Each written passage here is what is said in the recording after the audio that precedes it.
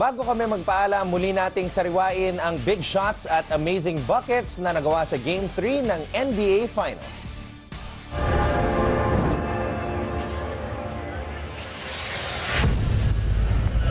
Good evening, ladies and gentlemen, and welcome to Quicken Loans Arena for Game 3 of the 2017 NBA Finals. Featuring the visiting Western Conference champion, Golden State Warriors, and your Eastern Conference champion, Cleveland Cavaliers! couple of games last year and then exploded. J.R. Smith knocks down the three. Cavaliers. Durant knocks down a three. James drives hard and throws it down. LeBron's best is not good enough. Yan ang napaturayan ng Golden State Warriors sa Game 3 ng NBA Finals. Two minutes gone by here in the second. James has been hot early. That continues another three. James against Durant. Inside left-handed. Like. Isang may tuturing na masterclass ang inihain ni LeBron James at Kyrie Irving para sa Cleveland Cavaliers. Irving spins, drives, layup. Oh! Sensational move from Kyrie Irving. Irving spins, Irving drive, gets inside, throws it up, and banks it home as the buzzer sounds. Ngunit sinabutahe pa rin ng Warriors ang kanilang pagdiriwang with a late rally Side left-handed, flips it up and in, and the foul. para sa isang 118-113 win. Iguodala throws it ahead to Thompson. James in pursuit, but couldn't get there. Sa buong laro, mukhang makakasungkit na ng panalo ang Cavs matapos ang dalawang lopsided na pagkatalo sa Oakland. Irving finds a room, nails it. 35 for Irving.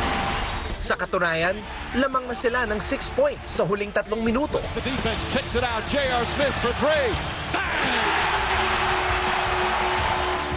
Ngunit, sa pamamagitan na naman ni Kevin Durant, Incredible opportunity. Durant for three. It's good. Kevin Durant. nagawa ng Warriors na sirain ang mga balak ng Cavs. And Golden State takes the lead. Kumamada si Durant upang pangunahan ang 11-0 run ng Warriors sa final 3 minutes. Kasama na dyan ang isang three-pointer with just 45 seconds to play upang tuluyang maipanalo ang Game 3. Sa huli, nakatapos si Durant with a team-high 31 points.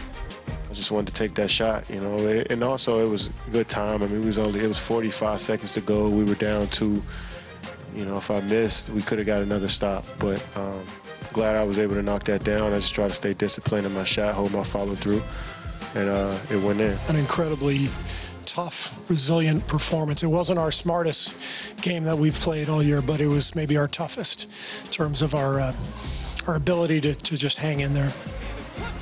15-0 na ngayon ang Warriors sa postseason.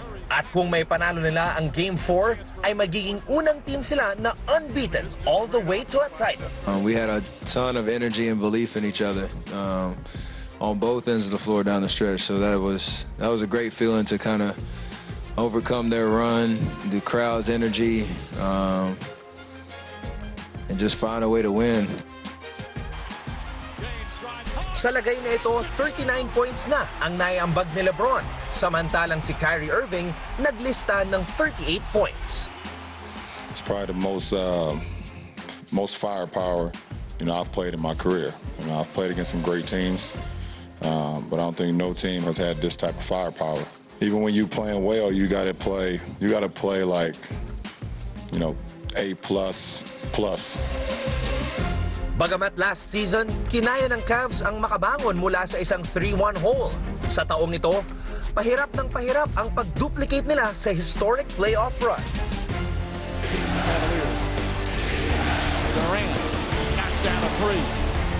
Game 4 na sa Sabado, sa Cleveland pa rin yan. At ang aksyon, masusubaybayan nyo dito lang sa ABS-CBN Sports and Action. Durant for three.